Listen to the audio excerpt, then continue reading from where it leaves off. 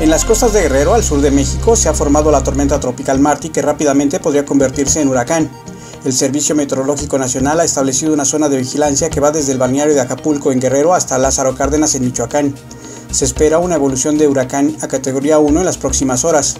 Las autoridades han hecho un llamado a la ciudadanía podrían registrarse deslaves, deslizamientos de laderas, desbordamientos de ríos y arroyos o afectaciones en caminos y tramos carreteros, así como inundaciones en zonas bajas y saturación de drenajes en sitios urbanos.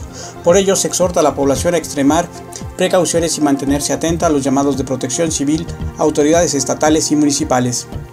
Para la crónica, Víctor Hugo Flores.